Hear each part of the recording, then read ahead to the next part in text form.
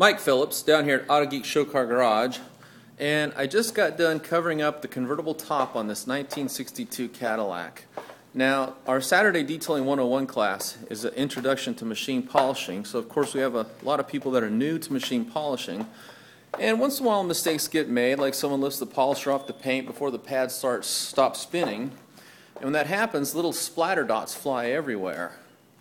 And to protect the convertible top, which has a, a weave or a grain to it, from becoming impacted with polish residue, it's just a good idea to take and cover it up. Now you can do this with any any drop cloth, like a painter's drop cloth you get at a hardware store. In this case, I found one that uh, states on the package that it's biodegradable, so it's a little more earth friendly. And then all I did is just carefully tape it off to the chrome trim. And there's snaps here too where the uh, boot goes when the top's down. So I covered those up too so we can buff right up to it but not actually get any polish residue on the top itself.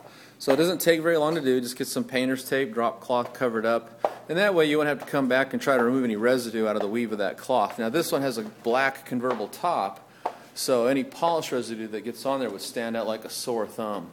The next thing I did is I took and put, um, this is a microfiber windshield towel. Um, I used to use beach towels, and AutoGeek brought this one out. It's real soft, won't scratch the paint in case you rub it against the paint when you're putting it on.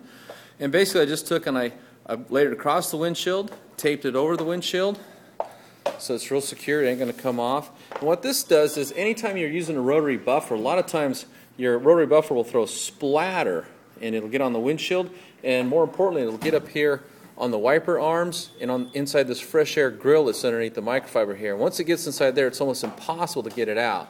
A lot of times when I see someone that's buffed out a car, one of the first things I'll do, especially if it's a classic, is I'll look at the fresh air grill intake to see if the guy threw splatter everywhere because it just makes the whole thing look ugly. And again, it's almost impossible to get it out. So this is large enough to start up here at the top of the windshield line, come all the way down, fold it over the fresh air grill, over the wipers here, and then I tuck it, I open the hood, tuck it down, and tape it to the ledge of the firewall here. So it's nice and neat and clean, and yet all the paint is still exposed so we can get in here and remove all those swirls and scratches.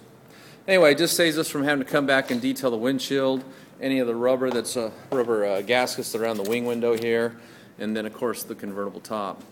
Now tomorrow's class is Machine Polishing 101, and for that we have a huge collection of tools out here for everybody to use, different types of pads, so everybody will get plenty of hands-on time, especially since the car is just as big as a yacht.